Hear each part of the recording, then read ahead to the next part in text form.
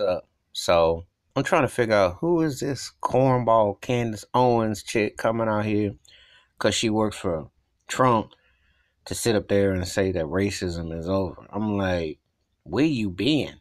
But you know, in the words of the great Paul Mooney, she hasn't gotten her wake up call yet. When she gets a wake up call, she won't be sitting up there telling them lies as if she can't see what's going on, as if she doesn't understand the history that's going on.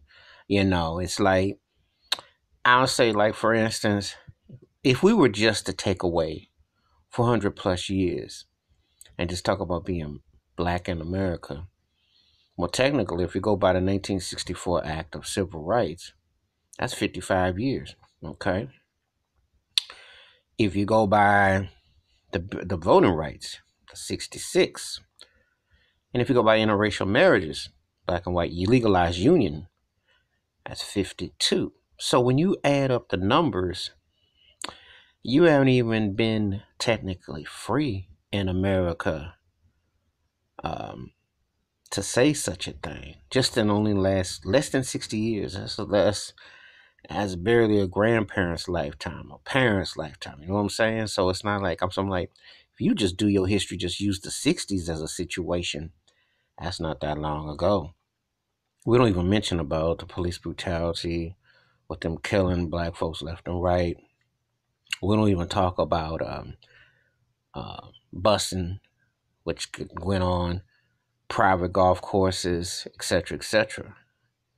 You know, we're talking about things that still happen, nooses, uh, school discrimination, people in blackface, left and right. Yeah, how about that?